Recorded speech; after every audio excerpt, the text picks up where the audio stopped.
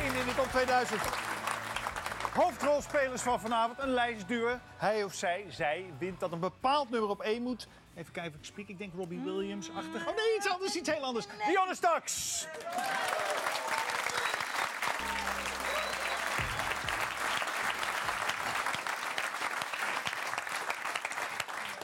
Wat moet er op 1 in de top 2000? We vragen het vanavond aan Dionne Staks. Even kijken, die komt straks. Die komt straks. Daar kunnen we er ook mee beginnen trouwens. oeh. Hoe oud was je? Ja, ik weet niet. Ik denk een jaartje of tien of zo. Goed hoor. hè. Ja, Cool, cool. dat, dat is Eh, wel echt de look. Dit is absoluut de look. Nou, dit is nog wel de look, vind ik eerlijk gezegd. Het is wel wat veranderd. Hm, ja. Ja, ja, ja. Ehm, de, vraag is altijd, de eerste vraag is eigenlijk altijd, wat moet er op één? Ja, er is iets misgegaan in de lijst, Ja, Matthijs. Hij staat er gewoon niet in. Oh, niet, helemaal niet. Gewoon niet, dit nummer staat er niet in. Wauw, welk nummer is het? Keep the Faith van Bon Jovi.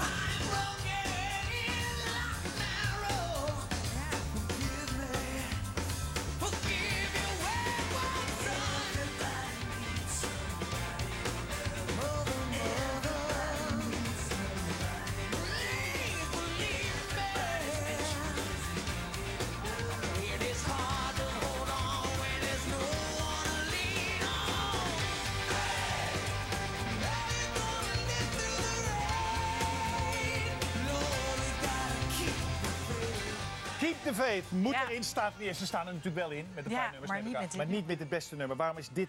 Eerst even Bon Jovi. Wanneer begon dit?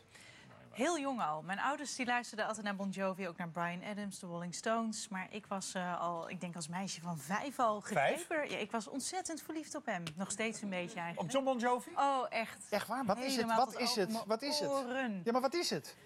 Ja, nou ja, ik vond zijn muziek natuurlijk leuk, maar ik denk toch vooral ook, ja, moet je kijken, dat stoere, die stoere man met van die mooie haren natuurlijk. En had hij ook nog, nou niet alleen zijn haren hier, ook zijn borsthaar. Dat vond ik ook. Ja? Oh, ik hoor hier allemaal mannen. Weet je, van die stoere kleren Ja, aan. Ja, borst, ik was- borsthaar oké? Ja hoor, zeker. Alright, absoluut. thank ja, you. Ja. Dit was meisjeskamer? Dit was zeker een meisjeskamer. Ik- Dit is, eh, ja, tijdens mijn eerste concert heb ik dit onder andere gekocht. Hij hing heel groot op mijn deur. En de deur was eh, aan de overkant van mijn bed. Dus iedere avond als ik ging slapen, dan Echt waar? keek ik naar... Vind je van die oorbellen? Ehm, ja, eh, ja, vond ik toen ook wel oké. Nu misschien wat minder. Jeetje, Mina. En dan is het van, uit het hele repertoire is het dit nummer. Is het dit nummer? Ja, klopt. Ehm, ik denk mijn allereerste concert, ik was denk ik een jaar of zeven. Dit nummer was toen net uit, Mhm. 1992. En hij kwam in het Schoffelpark in Nijmegen. Ja. En ik ging er toen naartoe. Ik had toen onder andere dit gekocht, maar ook... eh, Ook dit misschien? ja, wat best wel... Ik denk nu, ik, ik was toen een jaar of nee, 7, 8. Joh, dat moet toch echt een soort van jurk bij mij zijn Ja. geweest.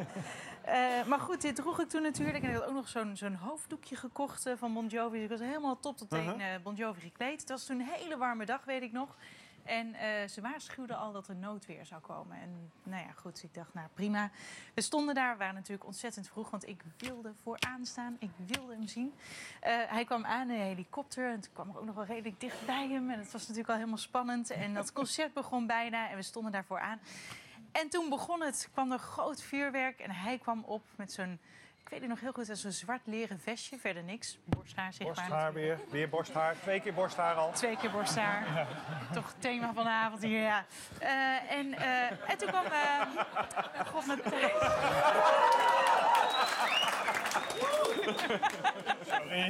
Oh, helemaal van me apropos nu. Oh, buurman, wat doet u nu? Ja,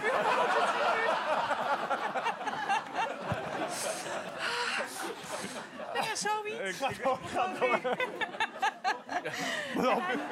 Oh, dat knippen we eruit. Hè? Nee, nee, niet. Nee, nee. En eh, dus, eh god, ik kreeg een hele kleur van, joh. Eh, en hij kwam op dat podium en hij begon met dit nummer, Keep the Faith. En ik weet dat nog zo goed. Ik, ik stond daar als meisje van acht ongeveer en ik was helemaal ondersteboven. Ik was helemaal onder de indruk. En dit nummer, weet je, ik had ook tientallen andere nummers van Bon Jovi kunnen kiezen. Maar dit nummer, ehm, en dat is natuurlijk vaak met muziek, als je, er dan, als je het hoort, dan denk je terug aan aan dat moment, zeker aan dat concert, maar ook wel aan, gewoon aan die hele tijd. En eh, het feit dat ik dat allemaal zo met mijn ouders ook heb beleefd natuurlijk. Zong je het voor de spiegel? Ja, Ja. ja Nou, we hebben hier geen spiegel, erbij. maar we, bor- Nee. borstel erbij? Tandenborstel? Eh, nee, haarborstel. oh, Wel, haarborstel. Zeker, ja. Haarborstel. Ik had verdomme een tandenborstel.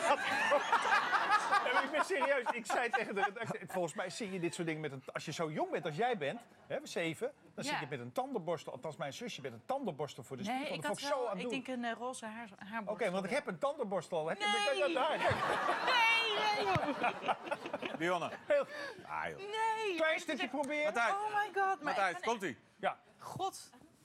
ik heb hem. Leo, start de band maar.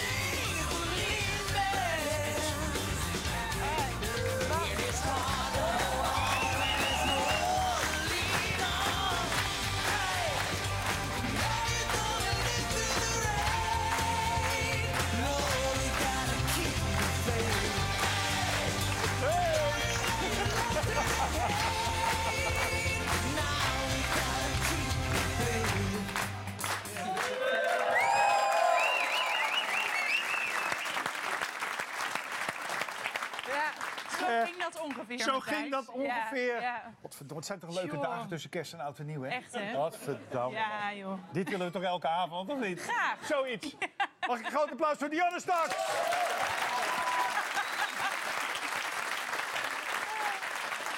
Eh, de tweede mini-documentaire gaat over de band Blue Oyster Cult. En ik moet eerlijk zijn, daar had ik wel eens van gehoord. Maar verder ontbreekt bij mij, Leo, elke clue.